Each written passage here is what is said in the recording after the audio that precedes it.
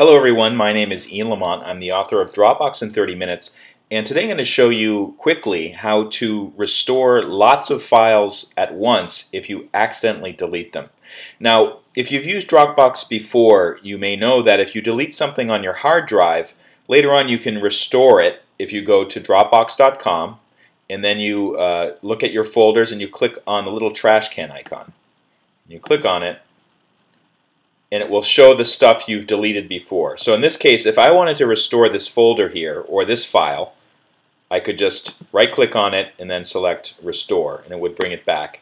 But what happens if you accidentally distort a really big folder? For instance, your camera uploads folder, which typically has thousands of photos in it, or something else, and you want to get it back quickly. You don't want to go through every single folder and every single file and restore them one by one.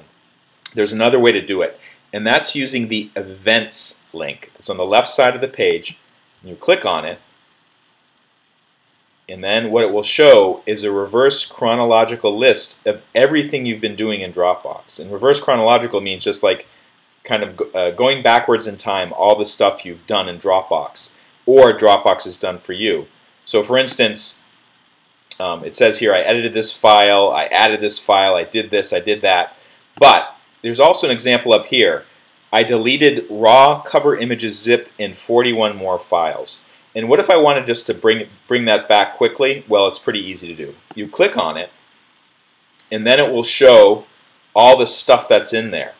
And you can see there's actually quite a few quite a few files. There's 41, plus there's a bunch of folders in there. But at the very top of it is a link that says restore these files it'll say, do you want to restore these 44 files and folders? And you say restore, and it's done. Finished restoring files. Then, if you go back to your Dropbox uh, account, you'll see that they've been put back. And indeed, I can see right now at the top of my screen that Dropbox is updating to bring those 41 things back.